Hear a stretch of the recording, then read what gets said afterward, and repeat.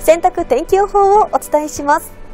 今日よく乾くエリアとなっているのが東京や名古屋、高知、大阪、広島、福岡です。こちらでは日差しがしっかりと届くため外干ししても大丈夫です。ただ大阪でしたり名古屋などこちらではにわか雨の可能性ありますので空の変化にお気をつけください。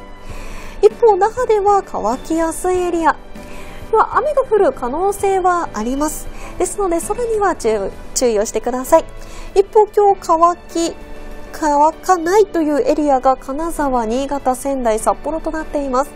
今日はこちらは部屋干しが安心です。以上洗濯天気予報をお伝えしました。